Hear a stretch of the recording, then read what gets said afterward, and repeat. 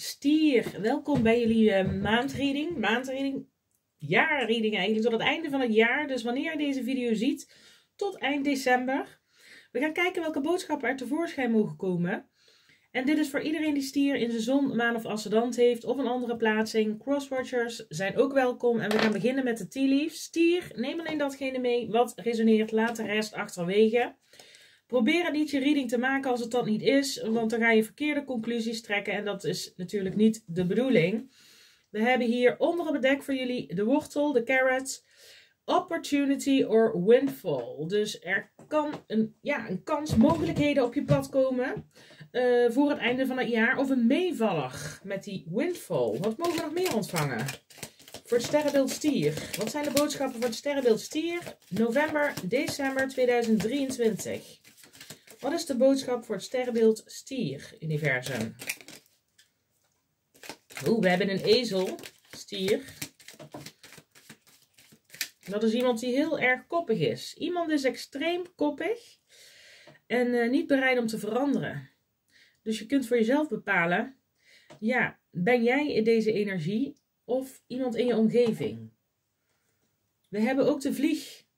Een periode van, ja, dat je niet zo lekker in je vel voelt, depressie wellicht. Dus let op je gezondheid. Het kan wat minder gaan qua gezondheid of je kunt je wat minder goed in je vel voelen zitten. Want depressieve energie, universum, wat mogen we nog meer ontvangen? We hebben tranen. Een groot persoonlijk verdriet bescherming van een eh, ja, powerful friend. Dus iemand, een vriend die het voor je opneemt. Iemand die je beschermt.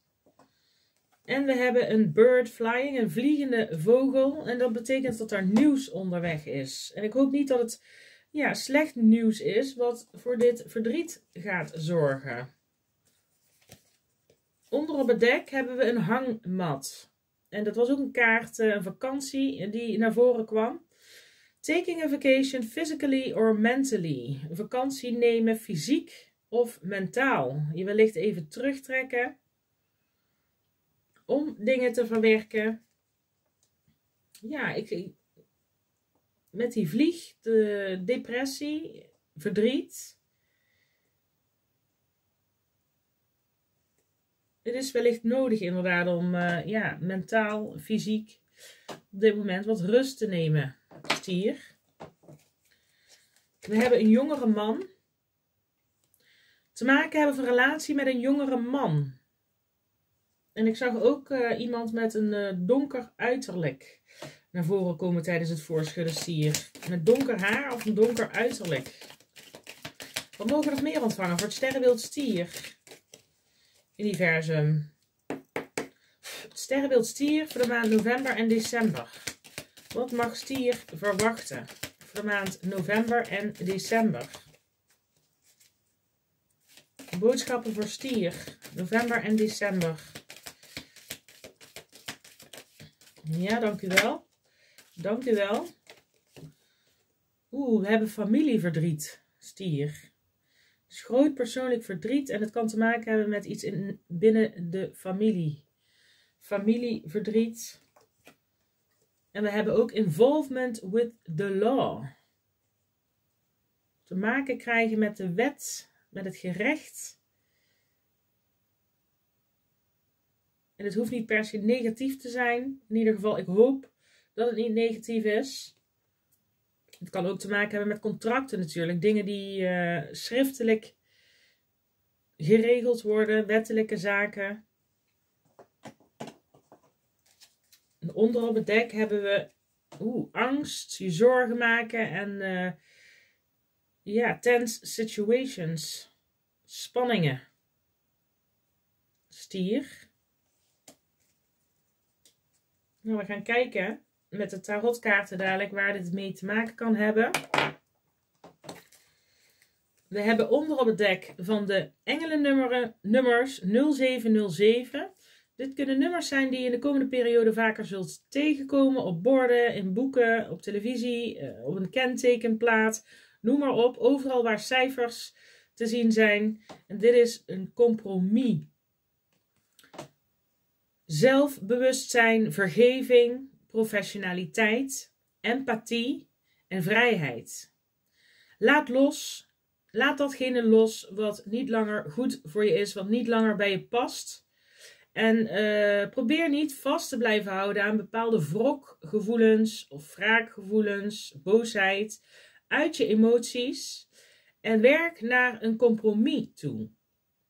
Waar er uh, een, een, soort van onbegrip is, dan is het het beste om uh, ja, vooruit te blijven gaan.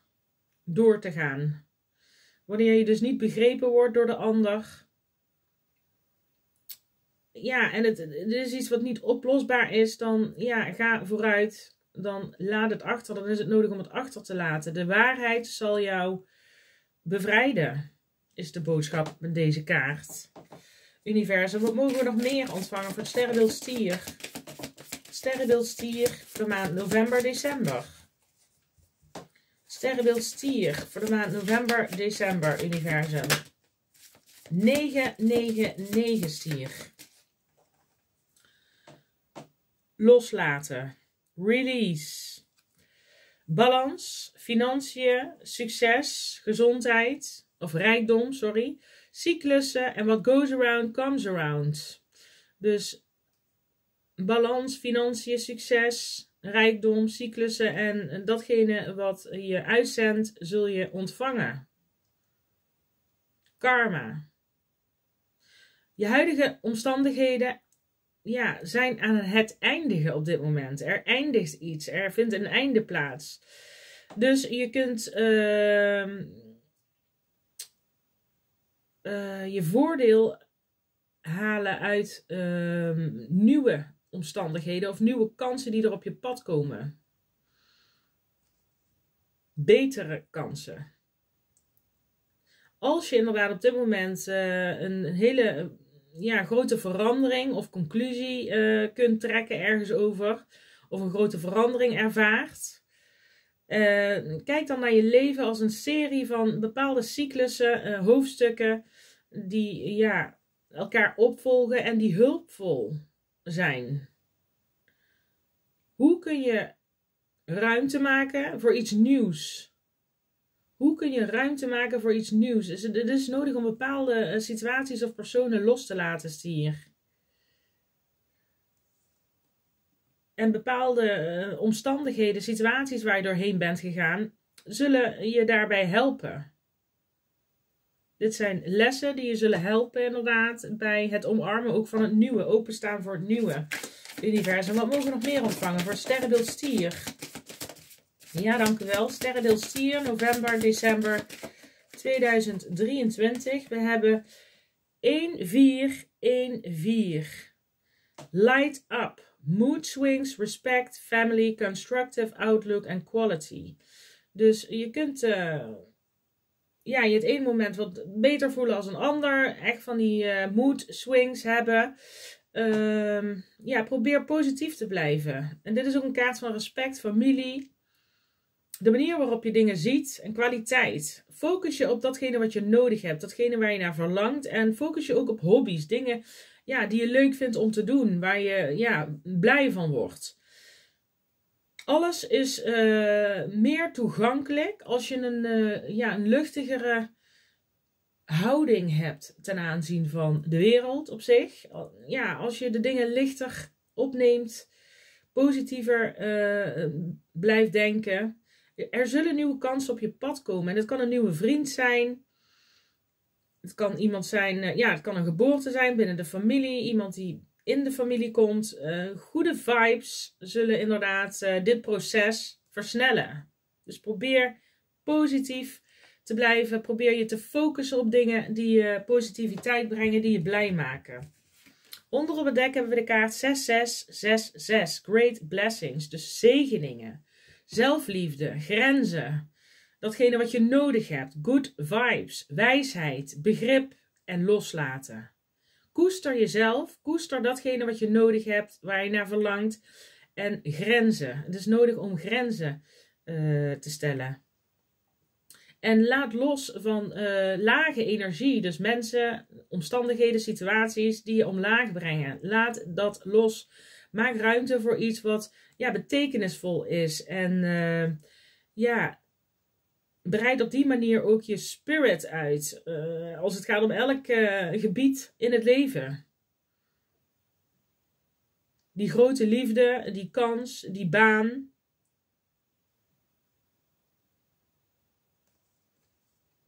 Er moet ruimte zijn voor die grote liefde, voor die kans of die baan om binnen te komen. Dus maak die ruimte. Is de boodschapstier. En we gaan uh, de tarot daarbij nemen. Kijk, en onder op het dek hebben we een hele mooie kaart. De staven 4. En dit is een kaart van ja, geluk. Dit is een kaart van harmonie. Een kaart van vrede. Succes behalen. Iets naar een volgend level tillen. Dit kan te maken hebben met een huwelijk, een verloving. Uh, feest vieren samenkomen met vrienden, met familie, iets leuks gaan doen, ook uh, ja, sociale dingen gaan plannen.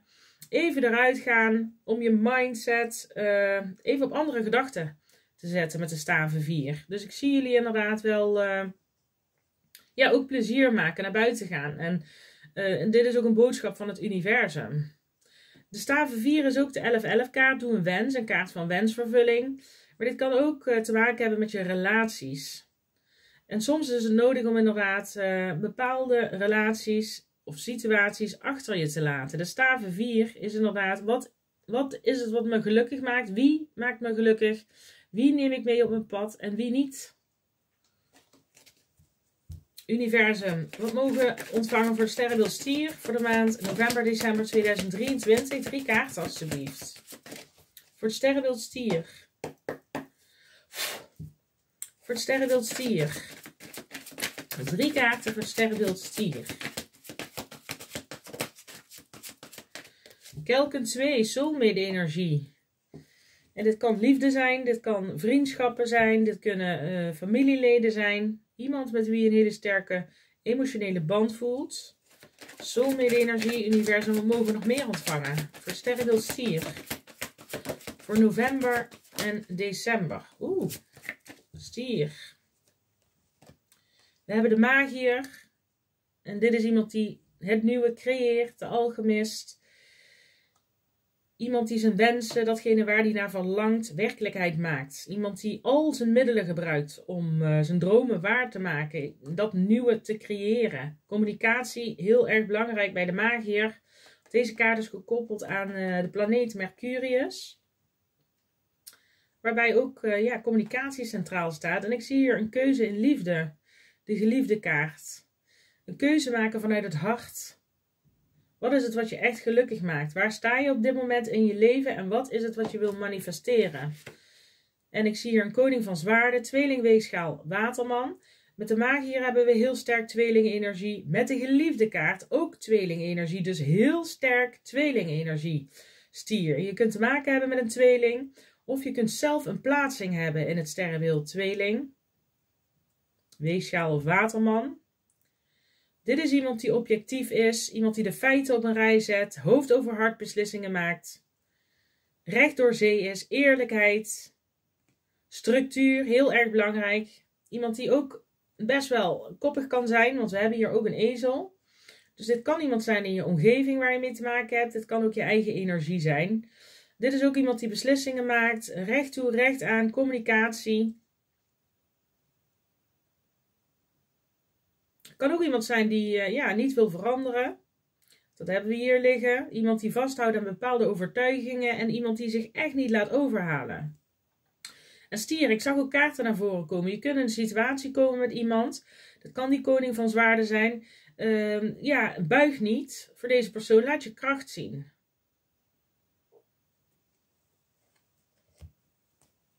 En blijf bij je standpunt. Onder op het dek de Kelken 3. Samenkomen weer met vrienden, met familie, iets te vieren. Dus ik heb ook het gevoel dat er ja, nieuws kan binnenkomen met die vogel die we hier hebben. Dat er goed nieuws kan binnenkomen. Dit kan te maken hebben met de geboorte van een kind, een zwangerschap, een verloving, een huwelijk. Dit kan te maken hebben met uitnodigingen om iets leuks te gaan doen. Of jij wil iemand uitnodigen om iets uh, leuks te gaan doen. Je bent erover aan het nadenken. We gaan het zien. Waarom ligt hier de koning van zwaarden voor stier? koning van zwaarden voor stier. Universum. Waarom ligt hier die koning van zwaarden?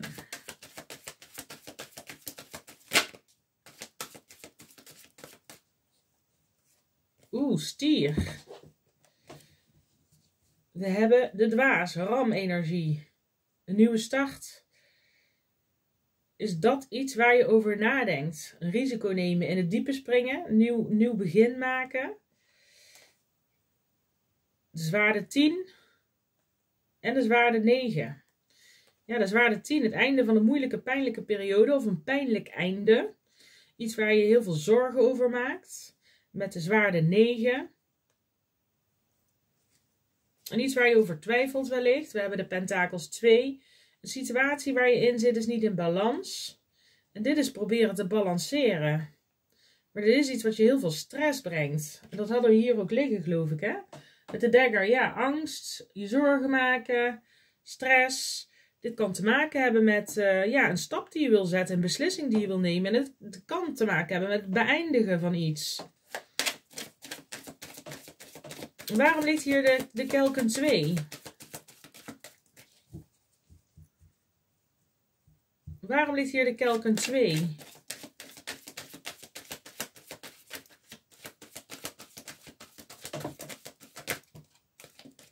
Zijn er te veel? Ik zag wel de zonkaart naar voren komen. Ja, dit is ook weer een kaart van een nieuw begin. Waarom ligt hier de kelken 2? En de zonkaart staat voor positief denken, creativiteit, jezelf uiten, helderheid krijgen. Waarom ligt hier de kelken 2? Bewustwording, een spirituele ontwaking, besef wat je plotseling krijgt. Waarom ligt hier de kelken 2? Wat te maken heeft met een soulmate energie. Een sterke emotionele band die je met iemand hebt. De zwaarden 6 naar kalmer vaarwater gaan. Dit is uh, afstand nemen van conflict. Dus je kunt in een conflict situatie met iemand zitten of komen in de maand uh, november, december. Iets wat je heel veel stress brengt.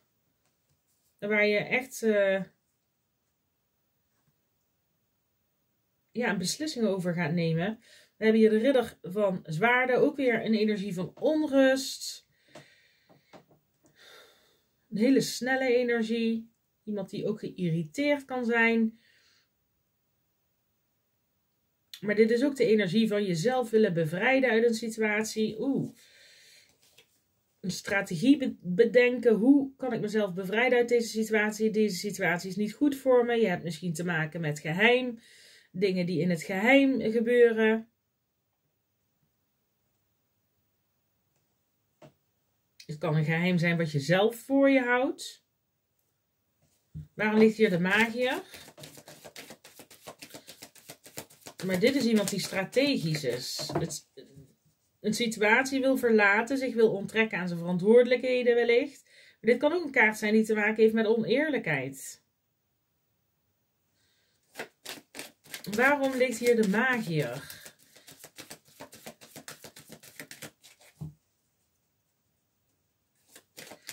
Waarom ligt hier de magier?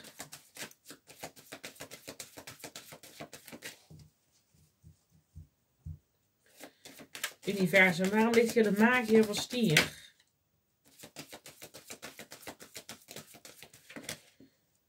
Oeh. Pentakels 5. Dit is de energie van je ja, achtergelaten voelen, in de steek uh, gelaten voelen. Het kan met de financiële situatie te maken hebben. Er kan een verlies uh, hebben plaatsgevonden op financieel gebied. Kan te maken hebben met diefstal voor sommigen van jullie. Maar je voelt je bedrogen, je rug gestoken met die zwaarde 10.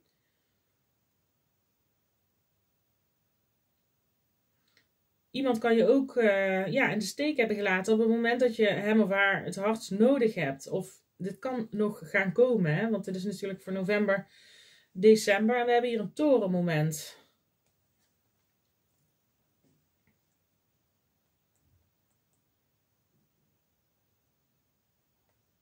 Torenmoment is inderdaad een, uh, goddelijke interventie als het ware. Het universum grijpt in. Het kan ook zo zijn uh, met die kaart uh, depressie wat we zagen, die vlieg, dat je heel erg gefocust bent op het negatieve. En dat daar ook verandering in gaat komen. Er gaat plotseling iets gebeuren. Er kan communicatie komen. Er kan iets, de waarheid kan aan het licht komen. Over een situatie of iemand.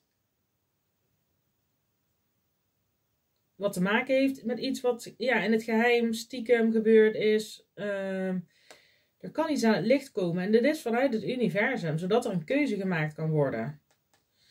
Universum, waarom ligt hier de Pentakels 5? Pentakels 5 is ook een kaart van uh, jezelf niet goed genoeg voelen. Waarom ligt hier de Pentakels 5? Focus op het negatieve, op wat er mist, in plaats van de mogelijkheden die je hebt. Datgene wat je nog kunt creëren, de middelen die je hebt. Je kunt ook een gevoel hebben dat er iets is, een doel wat je uh, voor ogen hebt, wat je wilt bereiken, maar het gevoel hebben, ik heb niet de voldoende middelen, bijvoorbeeld niet genoeg geld om datgene te bereiken wat ik wil. Waarom uh, ligt hier de toren? Verstier. Onder die magier. Waarom ligt hier de toren?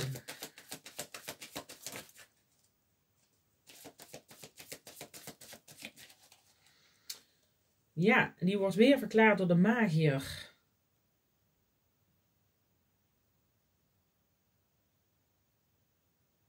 Manifestaties. Iets nieuws creëren. Kaart nummer 1. Waarom ligt hier de toren? Waarom ligt hier de toren, universum? De zwaarden 5. En die magier, dat is iemand die er alles aan doet om zijn doel te bereiken, om zijn wensen waar te maken. Met deze zwaarde vijf, iemand die niet nadenkt over de gevolgen van anderen. Er kunnen ook gesprekken gaan plaatsvinden, stier, uh, waarbij er conflict komt, waarbij iemand dingen zegt, uh, harde woorden spreekt. Iemand die is echt heel koud en kil naar je toe.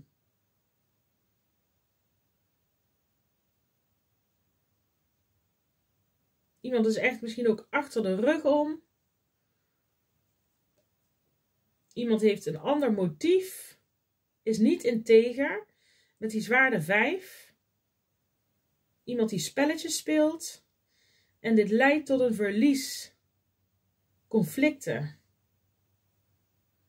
En dit is, dit is iets wat je zult beseffen. Vanaf eh, november tot eind december. Iemand speelt spelletjes. Iemand is niet eerlijk. Iemand ja, bedriegt je eigenlijk of beliegt je.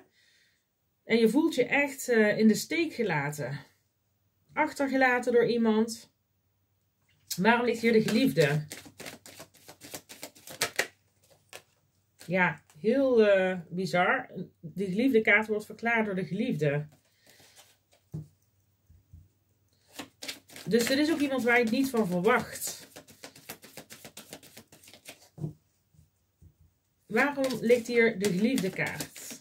Universum, verklaring voor de geliefde kaart. Maar je krijgt dus hulp of bescherming van een vriend of vriendin.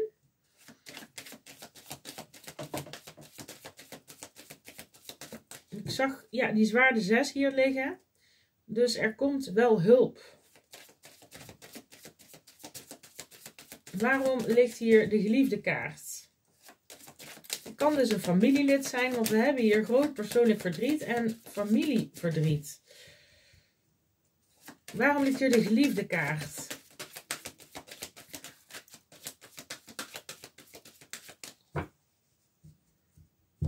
Waarom ligt hier de geliefde kaart?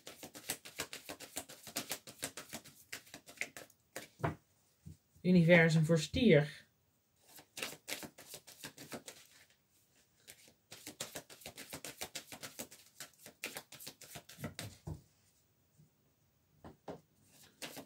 Hier de geliefde kaart?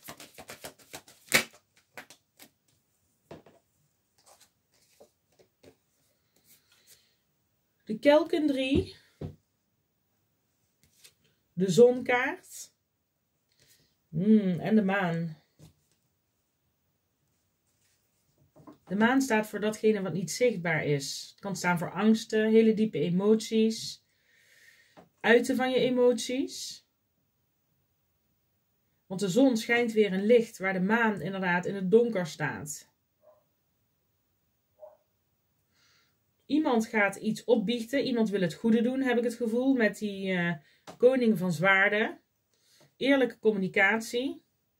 En het heeft te maken met een, iets wat geheim is gehouden, iets wat niet zichtbaar was. Daar komt duidelijkheid in. En ik zie je dus inderdaad ook uh, je gevoelens uiten. Maar wat ook betrekking heeft op de keuze die je maakt, kan te maken hebben met kinderen.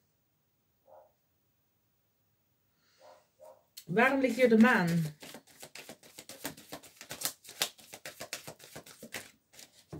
Onzekerheid. Nerveus zijn. Waarom ligt hier de maan? Universum voor het sterrenbeeld. Waarom ligt hier die maan? Oeh, de duivel. Steenbok energie. De maan is vissenenergie. De zon is leeuwenergie. Waarom ligt hier de maan?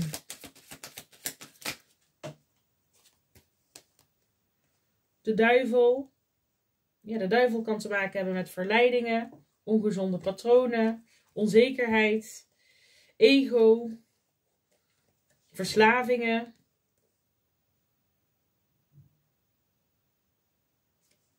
Pentakels 2. Juggelen van twee personen of twee situaties. Want dat is ook een, een verhaallijn die hier doorkomt. Het kan zijn dat je een keuze gaat maken uit twee personen ook. Met die pentakels 2, met de geliefde kaart. En de kelk en aas. Nieuw begin.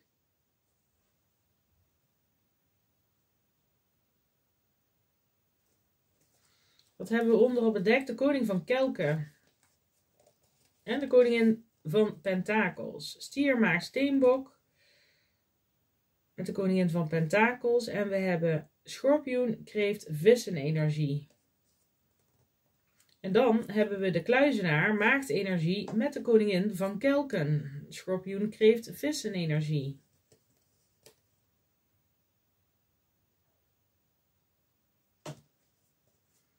Twee koninginnen. En daartussen een kaart van je terugtrekken, reflectie een innerlijk licht schijnen. Wat is het wat me echt gelukkig maakt? En ik zie dat je een keuze gaat maken vanuit het hart. We hebben hier wel die koning van zwaarden. Dit is iemand die juist hoofd over hart beslissingen maakt. Maar ik heb het gevoel dat het meer de energie is van iemand waar je wellicht mee te maken hebt. Iemand die ja, iets heeft gedaan of uh, ja, heel emotioneel. Er is een emotionele afstand tussen jullie beiden. En het kan iemand zijn binnen de familie. Het kan ook zo zijn dat je een keuze gaat maken in liefde. Uh, en dit heeft te maken met iemand waar je een gezin of een familie mee hebt. En een andere persoon. Waarom ligt hier de duivel? De duivel. Ongezonde patronen. Waaraan vastgehouden blijft worden. En dit kan een ongezonde toxische relatie zijn. Waarin veel conflicten plaatsvinden. Oneerlijkheid. Waarom ligt hier de duivel? En dit is iets waar je, wat je achter gaat laten met die zwaarde 6 naar kalme vaarwater. De duivel-universum. Waarom ligt hier die duivel? En om die beslissing te maken, dat kan je heel veel stress geven, heel veel zorgen. Want het is heel moeilijk. Universum, waarom ligt hier de duivel? De Kelken 7, ja, en de Kelken 7 is een kaart van dagdromen, illusies. Misschien komt het nog goed. Misschien kunnen we nog aan werken. Ik laat het maar even zo doorgaan. Blijven hangen in een bepaalde situatie. Geen knopen doorhakken. En ook uh, iets niet helder kunnen zien. Iets niet helder kunnen zien. En uh, dit is ook waarin er verandering moet plaatsvinden. We zagen hier ook een boodschap inderdaad uh, die te maken heeft met hoe je dingen ziet. De kelke 9, iemand die uh, het allemaal wel prima vindt, tevreden is met hoe de situatie is, leeft met de dag, dankbaar is voor alles wat hij of zij heeft. Dit is ook emotionele balans. En uh, dit is misschien een reden, je bent bang dat alles ja, verandert. En je bent natuurlijk stier een vast sterrenbeeld. En die houden niet zozeer van uh, veranderingen. dus die koppige persoonlijkheid, het kan jij ook zelf zijn. niet bereid zijn om te veranderen. Blijven hangen in een situatie waarvan je weet dat het eigenlijk niet goed voor je is. Of dat je eigenlijk verlangt naar iets anders, iets beters. En dit is ook de bewustwording die je doormaakt. Maar ik zie dus inderdaad die keuze. Maar onzekerheid, angst gaat hiermee gepaard. Ja, niet weten je afsluiten voor een bepaalde situatie. Doen alsof het er niet is. En dan is het er ook niet. En je, je ziet misschien niet de opties die er voor je zijn. Eh, omdat je daar niet voor open staat. Dus zorg dat je daarvoor open staat. Probeer positief te denken. Probeer je te focussen op dingen die je graag wil, dingen die je blij maken. Waarom ligt hier de, de dwaas onder die koning van zwaarden? De dwaas voor stier. Waarom ligt hier de dwaas?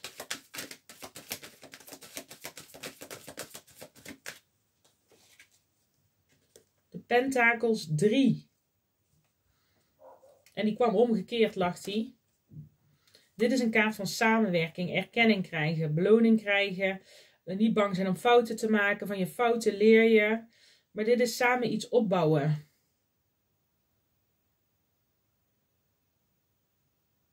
Het kan voor sommigen van jullie te maken hebben ook met een werksituatie. Maar ik krijg heel sterk ook uh, ja, liefde, relaties. Maar het kan een werksituatie zijn met die pentakels 3. Het kan een leidinggevende zijn waar je mee te maken hebt.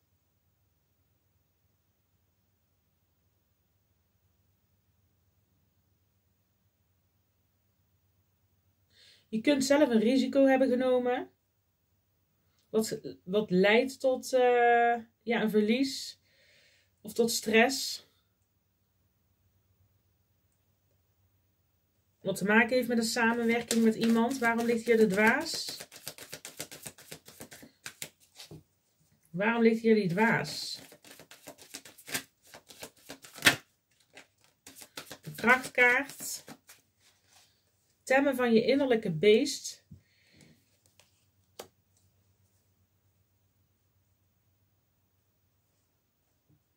Ja, je verlangt misschien naar iets. Je wil graag iets. Je ziet het voor je. Je bent aan het dagdromen over datgene wat je echt blij maakt, waar je naar verlangt. Maar op de een of andere manier is het niet mogelijk, omdat je nog in een situatie vastzit waarin je geen keuze maakt om jezelf te bevrijden. En ik zie dus nu inderdaad, jij bent degene die ja, de regisseur is over je leven, die uh, de controle in handen heeft met de magier.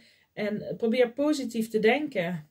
Want de kansen en mogelijkheden komen op je pad op het moment dat je keuzes gaat maken. Dat je de stappen gaat zetten. En je bent je nu uh, tegen aan het houden op de een of andere manier. Maar volg je intuïtie, volg je hart. En dit kan te maken hebben met een schorpioen, kreeft, vissen.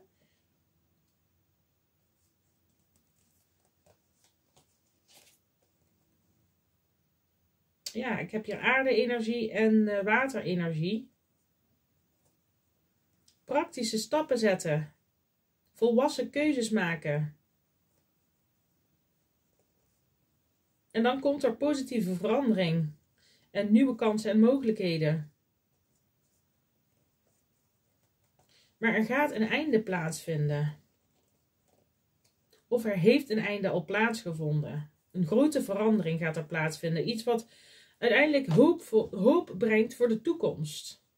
Iets wat je dichter naar je bestemming toe brengt. En het is misschien eh, ook een, punt van, ja, wat moet ik opgeven om daar te komen? En daar is bepaalde angst, gaat daar, uh, is daarmee gemoeid.